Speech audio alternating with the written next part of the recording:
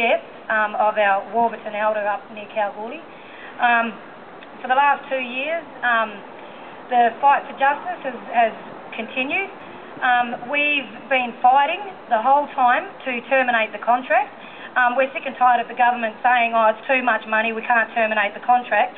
Well, if a company can transport prisoners when the Corrective Services Department owes a duty of care and they can die in their custody in the disgusting, shameful, terrible way that the Warburton elder died, then I don't know how they can terminate a contract then. Because if they can't terminate a contract when there's a horrible death, like what happened to Mr Ward, well then what can they terminate a contract for? If there was something that, you know, in the corporate world, if there was something that didn't go for the government, didn't agree with the government, they would find a way to terminate that contract if it doesn't work within the best interest of the government.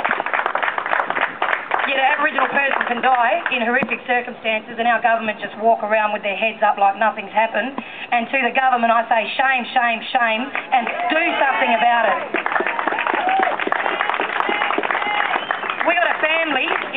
Warburton that are still waiting for compensation for losing their loved one and we've got a government that stands here every day saying that they're trying to work out the best way to approach the situation and approach compensation. Well there's only one way you can you can sort it out. Go and see the family and pay them the money that they deserve for what the government allowed to happen to their loved one, their husband, their father, their chairperson of their community. You know, this is a man who was well respected and still nothing has happened. And in regards to justice for the family charges, you know, the guards and the police officers can walk around with no justice for Mr Ward, yet they can walk around, continue their duties like nothing happened. But if we go and walk around and we go and put our kids or our dogs in a car and walk into the casino for an hour or two, ho, the security straight there, bang, charges.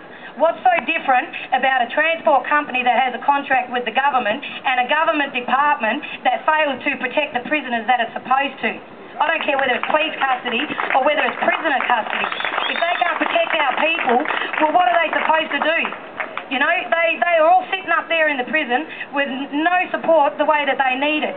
You know, they're getting three punishments for having, you know, like a cone of ganja or whatever. You know, the boys smoking there to relax themselves and because there's nothing else for them to do. And if there's nothing else for someone to do, what are they going to go and do? They're going to go and find something that's going to relax them or calm them because they can't participate in culture because there's no culturally appropriate programs up there. And at the moment, we're working on the Build Communities Not Prisons campaign. And what we want is we want our people to take control. We want programs that are up in